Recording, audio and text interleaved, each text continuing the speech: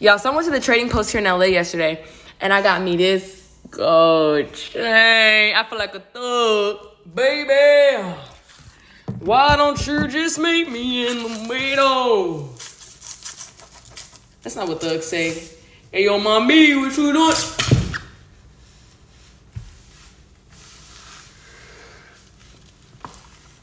Okay. Just gonna take